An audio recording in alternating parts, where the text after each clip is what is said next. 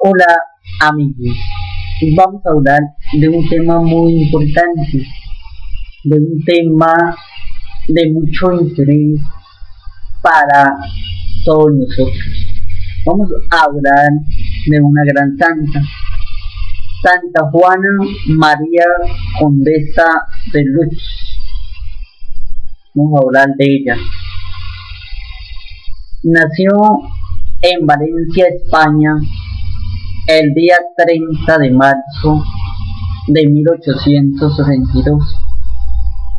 Tenía apenas 18 años cuando descubrió que la voluntad de Dios sobre su vida era entregarlo todo a la causa del reino a través de un servicio de la evangelización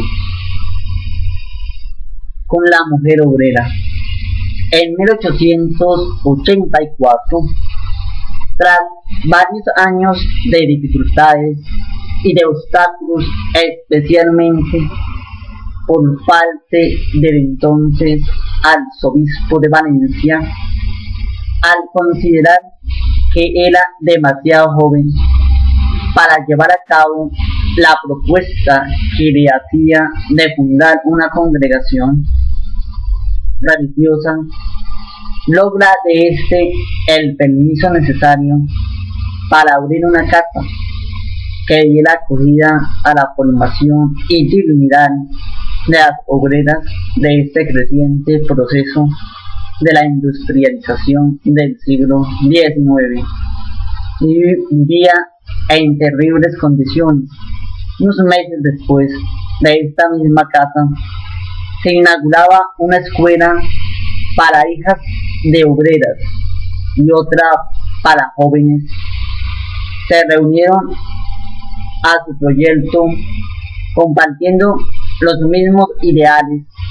Al fin consigue la aprobación diocesana del instituto en 1892, el cual crecía en miembros. Se iba extendiendo por distintas zonas industriales. En 1895 emite la profesión temporal junto con las primeras hermanas y en 1911 la profesión perpetua. El 16 de enero de 1916 murió.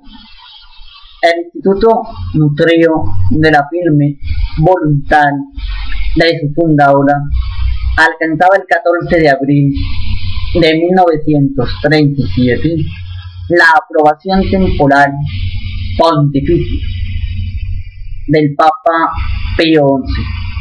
El 27 de enero de 1947 obtuvo el beneplácito definitivo del Papa Pío XII. La apertura diocesana del proceso de canonización de la Madre Juana María tuvo lugar en Valencia en 1953 fueron declaradas sus virtudes heroicas en 1997, el día 5 de junio del 2002, ante el Papa Juan Pablo II.